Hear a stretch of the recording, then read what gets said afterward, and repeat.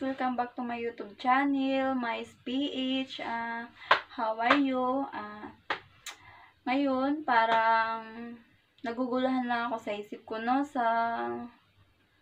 gagawa lang ako ng vlog dahil parang nararamdaman kong nag-iisa lang ako.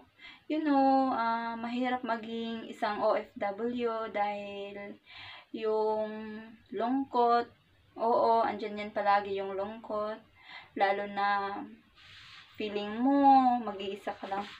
Mag-iisa ka lang, yung tipong gusto mong umiyak, yung nararamdaman mong, yun nga, parang nag-iisa ka lang sa buhay mo. Yung tipong gusto mong umiyak, lahat, ibuhos mo. Yung hindi, yung, yung tipong, lahat ibuhos mo. Yung tipong gustong gusto mong umiyak. Basta, yung, lalo na siguro yung may mga anak dyan, di ba? Alam nyo naman yung mga OFW, yung may mga anak, mahirap din naman tiisin, di ba? So, yun nga yung nararamdaman ko dahil malayo ako sa family ko.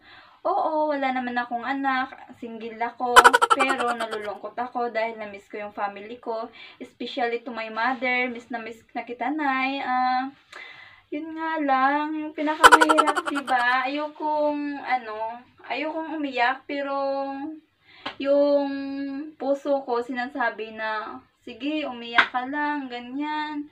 Yung, ewan ko, di ko masasabi, pero relate nyo naman yung mga OFW, di ba? Kung isa kang OFW, ramdam mo yung side ko na, lalo na pag first timer, tsaka bago ka lang, yung tipong nagugulahan ka, yung tipong, alam mo na, yung gustong gusto mong ibuhos yung lahat, lahat. Kasi minsan, hindi natin mapigilan yung sarili natin na mamiss natin yung family natin. Kasi nga, malayo tayo. Um, iba naman kasi to, hindi katulad sa atin na kung gusto mong umuwi, pwede. Eh, dito kasi, kailangan lakasan ng loob. Kung hindi ka malakas ng loob, yun wala. So, lagi ka na homesick, di ba? Yun yung pinakamahirap kapag OFW ka eh. Pero, yun nga, kailangan nating tiisin dahil mahirap yung panahon natin ngayon. So, kailangan natin kumayod para sa kanila. Hindi lang para sa sarili natin, kundi para din sa ating family.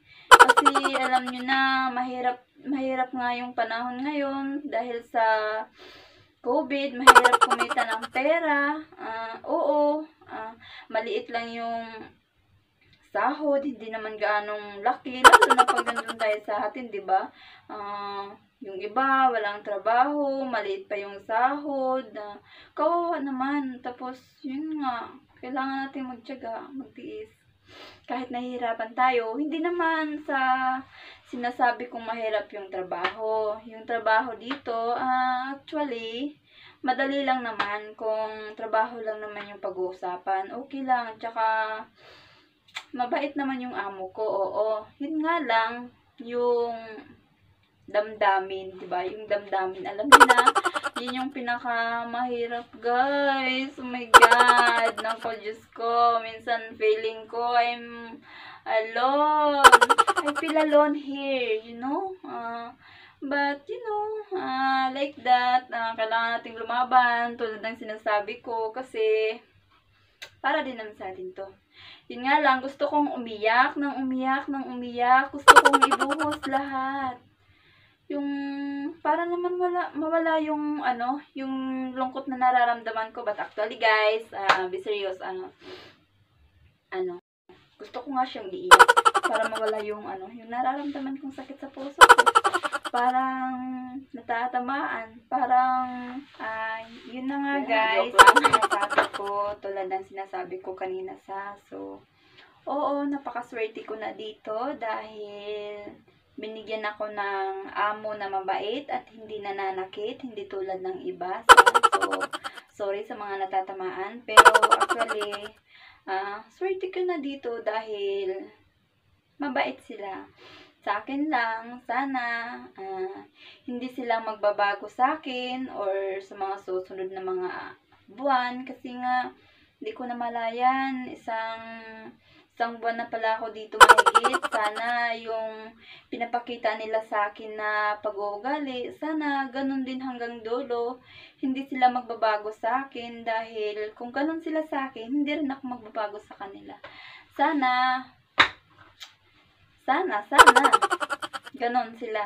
Ah, napakaswerte ko na. So, sana naman,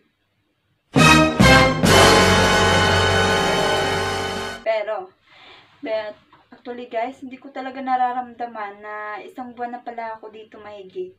Ay, yung mga araw, yung mga oras, hindi ko siya nararamdaman na umabot na pala ako sa punto ng mga ganyan.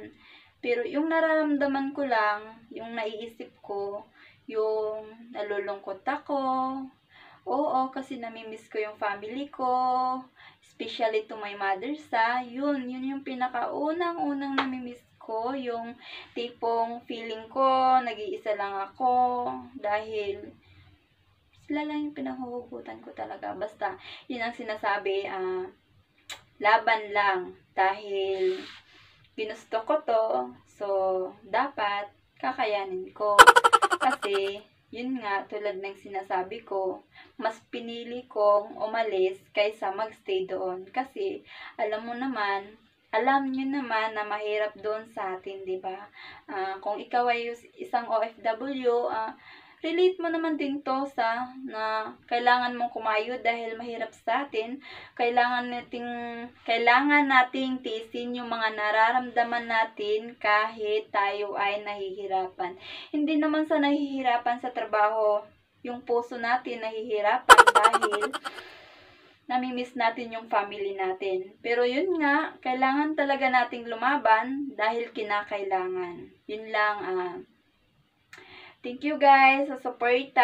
Ah, sana hindi kayo magsasawang magsuporta sa akin. Ah, mahal na mahal ko kayo. Ah, shout out nga pala dyan sa mga family ko. Ah, miss ko na kayong lahat. Ah, actually, ah, Mama Lorita, pasensya na hindi kita natatawagan dahil wala akong pangtawag. Eh. Napakamahal ng ano dito, ng load pangtawag. Sa ko po. Ah, Manang Yol, shout out sa inyo. Kumusta kayo dyan pa? Kumusta kayo? Ah, oo, miss ko na kayo, Nay. Ah, especially sa iyo, Nay. Miss na miss kita. Ah, Heart G, shout out sa iyo. Ah, Heart G, my sisi. Ah, soon, te, magkikita din tayo, te. Malapit na. Ah, hindi ko naman sinasabing as in malapit na. Pero parang ganun na nga. Hindi ko lang alam kung kailan. Ah, shout out sa iyo, Tiha. Ayan, magkikita tayo. Yung damit ko dyan, nandyan pa sa'yo.